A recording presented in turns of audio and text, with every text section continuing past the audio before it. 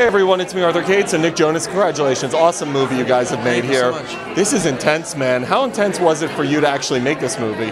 Uh, very intense. You know, this this story pulls no punches and, and is uh, one that I was honored to get to tell. You know, Brad Land's memoir is uh, so full of detail and uh, paints the picture of the, the dark side of fraternity culture in a really beautiful way. So I think for all of us, the goal was just to tell that uh, tell that story and do it justice. You've got such a great thing happening because obviously with all the success you've had in the pop arena, to then go to acting and have success is really remarkable. Talk to me about that, being able to make that transition because not a lot of people have been able to.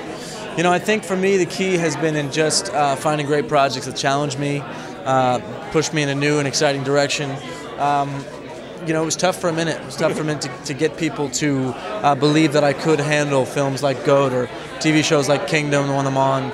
Uh, but I think, you know, between pushing myself musically and really getting aggressive about, uh, you know, great material on the acting side, it's been an amazing couple years. And, um, you know, the projects that are kind of on the horizon are even more exciting. And, and uh, I'm just anxious to keep going. This topic right now is so relevant. We're still seeing on campuses the hazing issues. There's issues with campus rape. When you're able to tell a story that is effective today, what does that mean to you as an artist?